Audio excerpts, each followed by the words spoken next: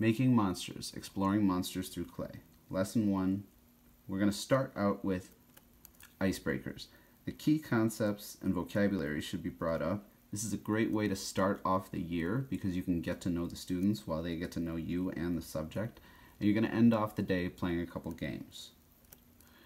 You're going to need a projector, writing utensils, and if you're working with high school or maybe even middle school, you'll need a sketchbook but if you're working with younger than that, you'll probably just use scrap paper from the class.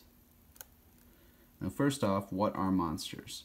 What provokes or motivates them? What do they look like? What are their strengths and weaknesses? What are their fears? What just makes them tick?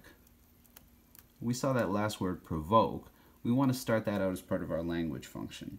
What does it mean to be provoked? How is it different from cause and effect? We want to have all our students write this down, write down some of the examples, and discuss it.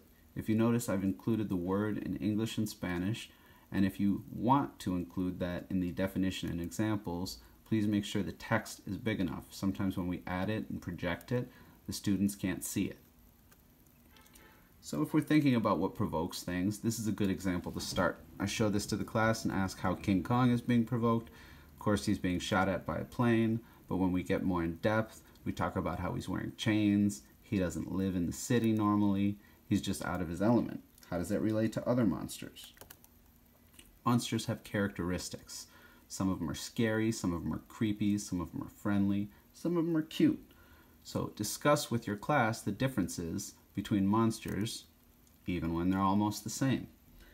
When the class goes through the color, the texture, things like this, they're going to start to notice what it is about them that makes them scary or not, and however they design their monster, they'll be able to have a little more control over it. From the 90s and the 70s, the Muppets look very different, even though some of these are the same characters. Cookie Monster is a good way to discuss how being provoked or motivated affects a monster, especially if you're working with a young group of students that you don't want to scare. But if you're working with an older group of students, you can talk about monsters from old movies and how they might relate to Hotel Transylvania. People don't find them scary because they're in cartoon form. So ask kids why and see what conclusions they come to. Monsters are also different from different cultures. These are Sesame Street monsters from Nigeria and Israel. That's Yam Monster and Moishe Oofnik, Oscar's cousin. In other cultures, oftentimes monsters have misconceptions about them. For instance, these are Haitian spirits of protection. They're sculptures that were in the voodoo exhibit at the Field Museum, and they're there to be your helper and protector against evil spirits. But when you ask students what they are, they often say demons or devils. When I was a kid, I always wondered why they would want to scare off these monsters because wouldn't they be friends? But really, if you were going to go down a dark alley in a bad neighborhood in the middle of the night, you'd probably want one of these guys or one of these guys. They're there to help.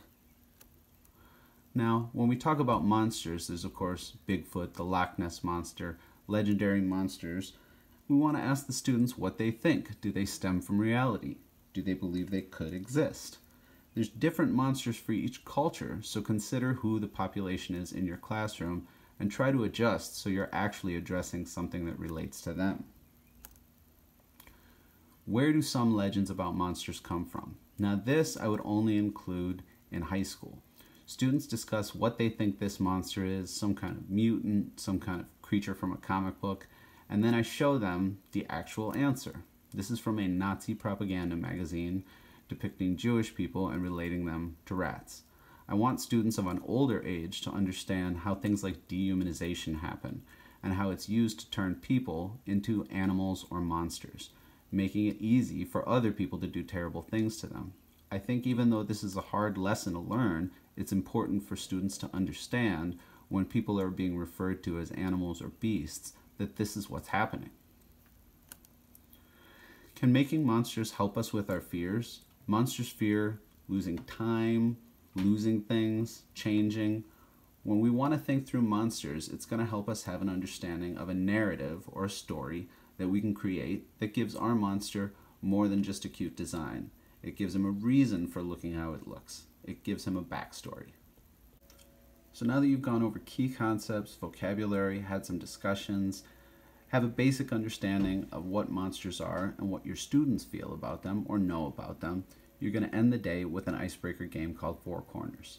Divide your room into sections A, B, C, and D and post prompts on the projection screen to figure out how your students feel about different monsters and what interests them. This is going to help them think through the idea so that when they make their own monsters, they know what they really want to create.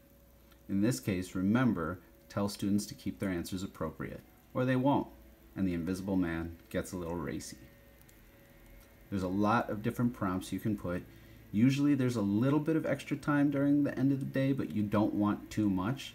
So I'll go through three or four of these, but I always want to make sure I have extra in case half of your student population is out for that day. People could be sick or absent or anything.